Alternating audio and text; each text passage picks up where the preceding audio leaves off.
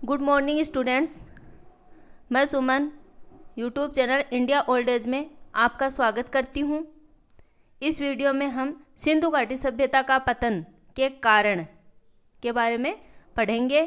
तो देखिएगा, सिंधु घाटी सभ्यता के जो पतन के कारण हैं, उनके बारे में अभी तक कुछ निश्चित कारण का पता नहीं चला है। इसके बारे में कई विद्वानों ने अपने अनुसार कई मत दिए हैं। तो देखिएगा यहाँ पर हमने कई फ़ेमस विद्वानों के मतों के बारे में आपको यहाँ बताने की कोशिश करी है। तो देखिएगा, नदी की शुष्कता के कारण, सिंधु घाटी सभ्यता के पतन के कारणों में एक है, नदी की शुष्कता के कारण। तो उसके, इस मत के संस्थापक हैं सूद और अग्रवाल। फिर, अस्थिर नदी तंत्र तो इनके हैं लैम्ब्रिक, जलवायु परिवर्तन, आर एल स्टीन एवं ए एन घोष। प्राकृतिक आपदा के यू आर कैनेडी भूकंप, रेइक्स, पारिस्थितिक संतुलन फेयर सर्विस, आर्यों का आक्रमण, आर मार्टिमर वहिलर, बाह्य आक्रमण, Gordon Childe and Stuart Piggott. तो देखिएगा, हमने यहाँ पर आपको कई विद्वानों के बारे में बताया, जिन्होंने सिंधु घाटी सभ्यता के पतन के कारणों के बारे में अपने अपने मत दिए हैं। इसी प्रकार हम अन्य कारणों के बारे में भी जानेंगे। तो देखिएगा, सिंधु घाटी सभ्यता का काल है, वह 2500 से 1500 ईसा पूरा माना गया है।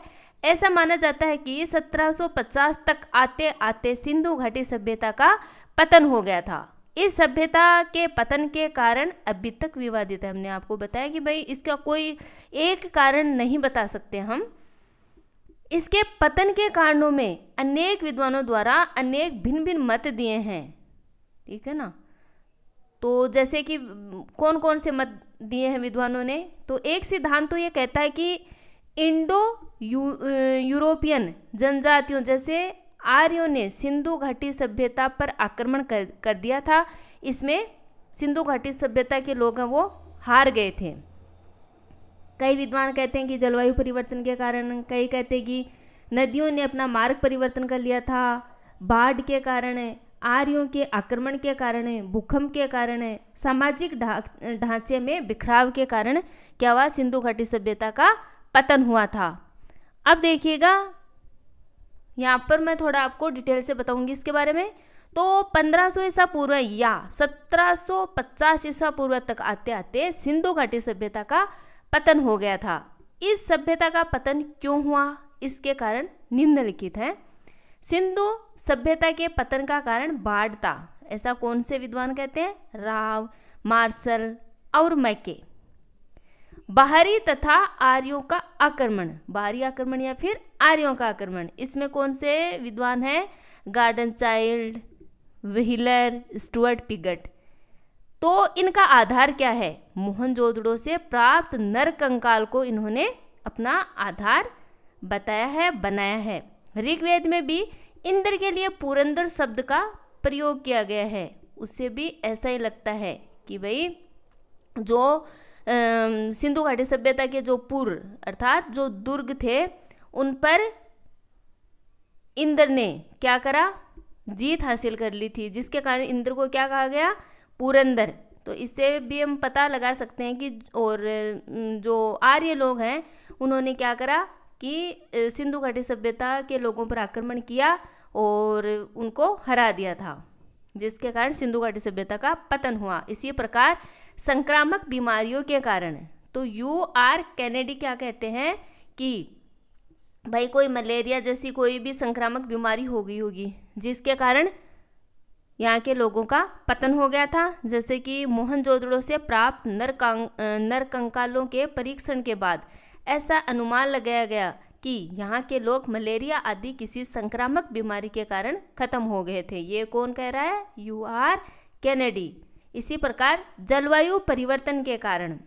तो जलवायु परिवर्तन के कारण जलवायु परिवर्तन को पतन का कारण बताने वाले विद्वान कौन है? Stein A N Ghosh and strain इसी प्रकार प्रशासनिक स्थिरता के कारण सर जॉन मार्शल फिर देखिएगा, प्राकृतिक आपदा के कारण sir John Marshall Mackay S R Rao, ये बोलते हैं कि भाई प्राकृतिक आपदा के कारण सिंधु घाटी सभ्यता का पतन हुआ।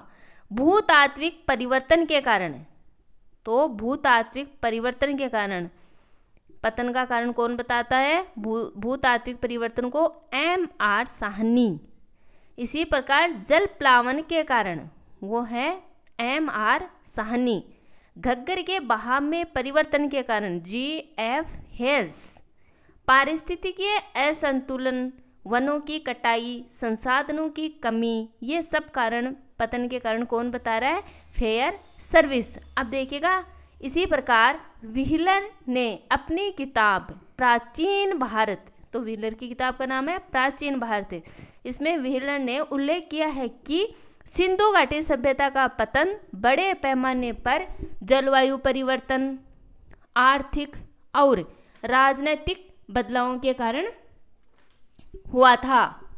ठीक है तो यहाँ पर हमने इतने सारे विद्वानों के मतों के बारे में पढ़ा है। इनमें से एक आधा मत आपको पक्का परीक्षा में पूछा ही पूछा जाता है। और इसमें भी सबसे जो महत्वपूर्ण है पतन का कारण वह बाढ़ था। और इसमें राव, मार्शल और मैके थे। तो आपको ध्यान से इसको पढ़ना है, ध्यान में रखना है। तो देखिए स्टूडेंट्स हम कह सकते हैं कि अधिकतर विद्वानों का मत है कि इस सभ्यता का पतन बाढ़ के प्रकोप के कारण ही हुआ। वैसे देखें तो सिंधु सभ्यता का विकास नदी घाटी क्षेत्र में ही हुआ था। तो इस क्षेत्र में बाढ़ का आना स्वाभाविक था। अतः बाढ़ के कारण पतन, बाढ़ के कारण जो पतन है, वो कारण हमें तर्कसंगत भी लगता है। लेकिन फिर भी कई विद्वान ऐसे हैं जो बाढ़ को ही पतन का कारण न मान के अन्य कारण जैसे कि आग लग जाना, क्योंकि सिंधु घाटी सभ्यता के जितने भी मकान, ज़्यादातर मकान हैं, वो लकड़ियों से बने हुए हैं। तो ऐसा भी अनुमान लगाया गया कई विद्वानों द्वारा कि भाई, आग लग गई होगी और उससे सारे लोग एक जगह जल गए होंगे। महामारी और कोई भी बाहरी आक्रमण आदि को भी लोग क्या हैं, पतन का कारण मानते हैं। लेकिन जो सबसे महत्वपूर्ण पतन का कारण है, वह या तो प्राकृतिक आपदा या फिर बाढ़ है, इनको आपको ध्यान से देखना है। तो हमारे वीडियो को अंत तक देखने के लिए आप सभी का बहुत बहुत धन्यवाद। और ऐसे ही सिंधु घाटी सभ्यता से संबंधित जानकारी प्राप्त करने के लिए आप हमारे YouTube channel India old age को सब्सक्राइब करें। धन्यवाद।